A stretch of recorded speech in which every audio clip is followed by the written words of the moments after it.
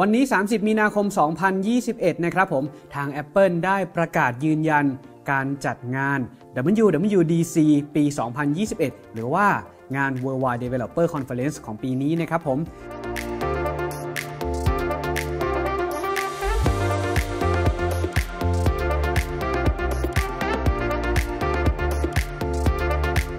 ซึ่งงานนี้จะจัดขึ้นในวันที่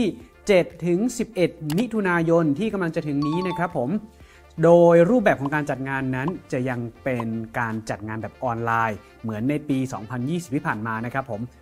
ถ้าหากยังจำกันได้นะครับ ในปี 2020 ถือว่าเป็นครั้งแรกที่ทาง Apple จัดงาน WWDC ผ่านระบบออนไลน์นะครับ ซึ่งเพราะโควิดเองครับ ทาง Apple ก็เลยจัดในรูปแบบนี้นะครับผม แล้วในงานนี้เราจะได้เจออะไรบ้างนะครับ ปกติบอกให้ทราบกันก่อนว่างาน WWDC นั้นเป็น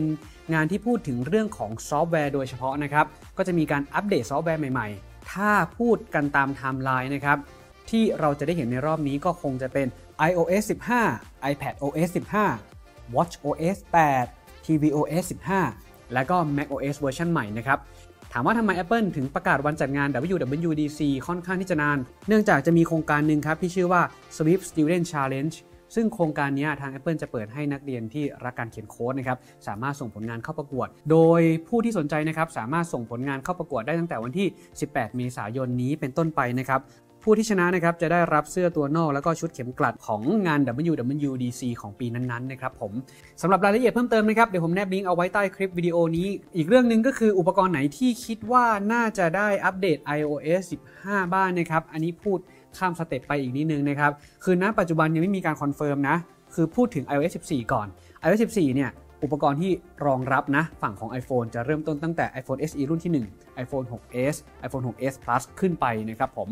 แต่ใน iOS 15 ก่อนหน้านี้มีข่าวลือครับ เป็นข่าวลือที่ยังไม่ได้รับการยืนยันนะครับ บอกว่ารุ่นที่จะรองรับได้ก็คือในฝั่งของ iPhone 7 ขึ้นไปนะครับ iPhone 7 7 Plus iPhone 8 แล้วก็ใหม่กว่าทุกรุ่นนะครับ